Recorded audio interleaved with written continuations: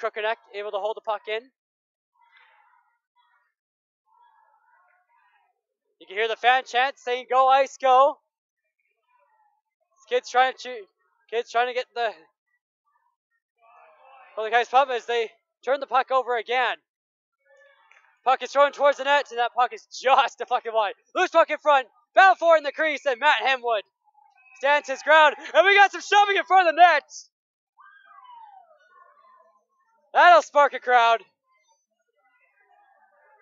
Luke Crookeneck, and it looks like yeah, Luke, yeah, Luke Crookeneck's gonna drop the gloves. Looks like going with Tyler Smith.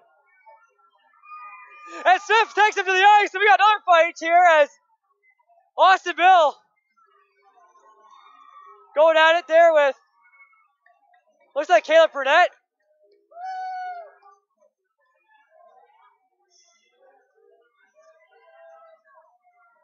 Oh my goodness.